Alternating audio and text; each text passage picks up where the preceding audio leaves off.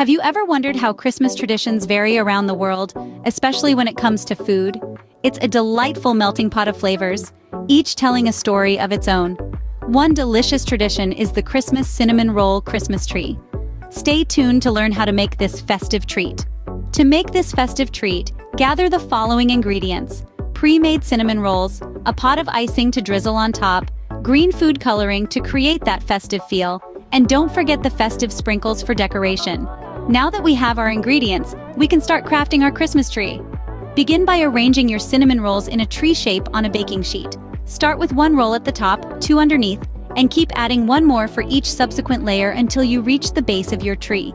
Don't forget to add one roll at the bottom for the trunk. Next, you'll want to bake your cinnamon rolls as per the package instructions. Fill the kitchen with that warm, sweet, and spicy aroma we all love around the holidays. Once baked to a golden brown, remove them from the oven and let them cool. While they cool, prepare your green icing. You can use a simple mix of powdered sugar, milk, and a drop or two of green food coloring.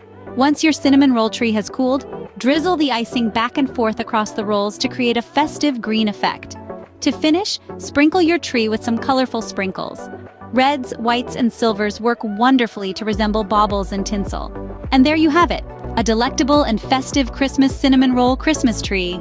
This Christmas cinnamon roll Christmas tree is sure to be a hit at your holiday gathering. Imagine the delight on your loved ones' faces when you unveil this festive treat. Why not give it a whirl? We'd love to hear how your baking adventure goes. Drop us a line in the comments section, sharing your triumphs or any fun twists you've added. If you enjoyed this video, remember to hit that like button and subscribe to our channel for more delicious recipes. Happy holidays!